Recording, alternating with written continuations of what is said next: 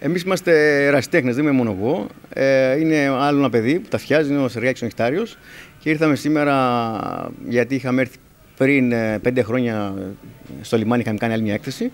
Και σήμερα έχουμε την ευκαιρία να κάνουμε άλλη μια έκθεση εδώ για μία μέρα. Και να, να, να βρεθούμε και οι, και οι gamers και οι retro gamers. Γιατί πιο πολύ εμείς ε, έχουμε έχουμε επικεντρωθεί στου retro gamers.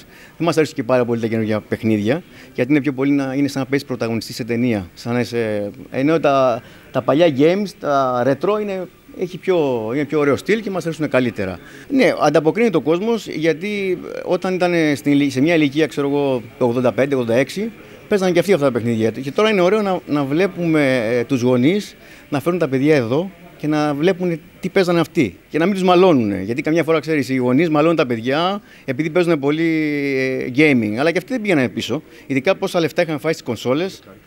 Δεκάρικα, στις καμπίνες, πολλά, πολλά τα λεφτά. Πολλά τα λεφτά. Και αυτή η έκθεση ε, αρχίζει πριν 12 χρόνια.